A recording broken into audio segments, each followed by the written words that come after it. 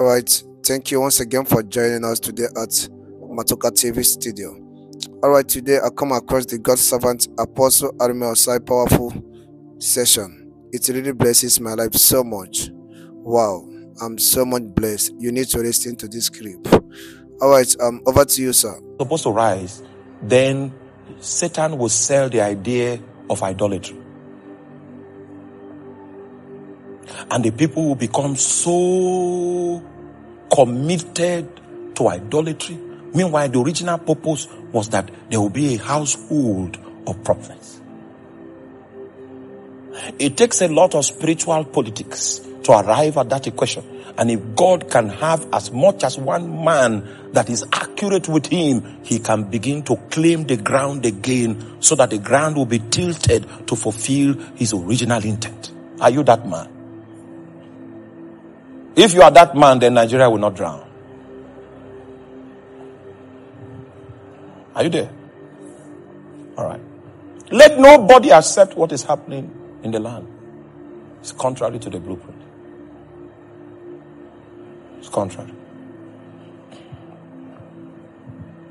And I speak so passionately because I've been an ambassador of Nigeria to different nations.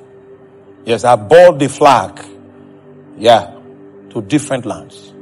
And before I arrived at the places where I came to, some other Nigerians had come there and made for us a very terrible name.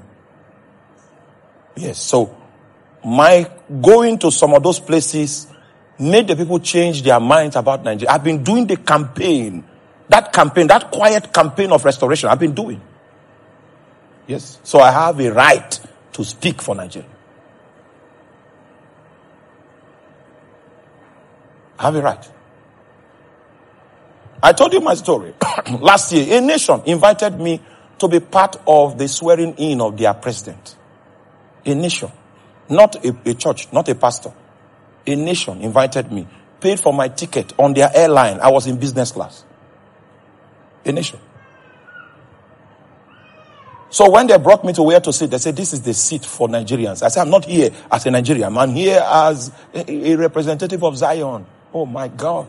There is, oh my Jesus. Eh, This is not my seat. I look for my, yeah. So they now located my real seat. It was not nationalized. It was for Zion. That was where I was. I don't, I want, I don't want to finish the story because your heart will break. While I was weeping, because you need to hear the, they shout, because those guys voted the person they wanted. Are you following? Their ho- hopes were not kidnapped. You know, we have experienced kidnapping of human beings so much that it became easy, convenient to kidnap the hope of a nation. Kabosi. Mantaya. Their hopes were not kidnapped. Their beloved, they voted him in against all odds, and I was there on that ground. You need to see how they shouted for liberty, for freedom. When that guy drove into that place, gee, I wept. I say, God, will you, will you do this in my lifetime? Will we, will Nigerians release, ventilate? Will they cry for freedom like this and see it come to pass? I was weeping on my seat for two hours. And it was a public place. So when you are, anything you are doing is public. I, I, I was unconcerned about people's perception of me. I was there for Zion's sake. And my jurisdiction was Nigeria. Oh, you need to see that the glory of that day. The glory of that day when that great man swore by the Bible. Kai. Not by Ogugu, not by Swem. Not by Akpam. Not by Shongo. He swore by the Bible. And I went on my knees and I began to weep straight for two hours. for two hours. Are you there? Guess what I saw after two hours? raised my head. I saw some of our prophets, eh? and prophets, you know, in Africa, marketing prophecy, trying to tell the, the newly elected functionaries that we prophesy to. Ah, see?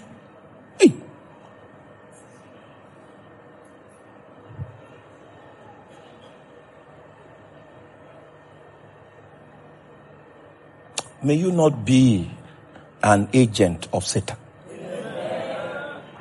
When God is building, when God is restoring, then some people came with the flesh. And the reason why I will not go beyond the, this, what I just said, because those people are people I respect. One of them uh, is someone I respect. But what I saw him do there, ah, he, he needs prayers. Because he has served the Lord and I'm aware of it.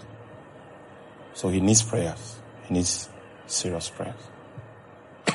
One of the people.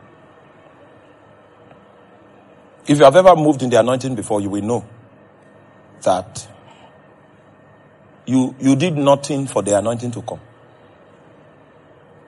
It is sovereign. It is the glory of Jesus. And if you are privileged to carry, to walk in that glory, you need to do it with fear and trembling and give glory to God every day. Never use it as a platform for self projection because you would have violated the covenant. Only one, only the fame of one should be heard among the nations and the fame of Jesus, the fame of his anointing. And just in case you become known, is it, it is incidental. It was not part of the package. Eh? Yes, not part of the package. So, be known as one that was in active service to him. And that's how, that's your own portion. Hallelujah. Not that you are marketing, trying to be known. And the resources with which you are marketing are supposedly resources that were handed out to you by grace. If you are marketing to be known, it means that you do not trust the process that God has put in place to elevate you. You have veered off. And see, these veering offs don't take place just like that. There are spiritual politics behind the scene that leads to a nation veering off from the mark. Now, I want to show you something quickly in the book of uh, Genesis chapter 4. Then if you can understand that, we'll proceed.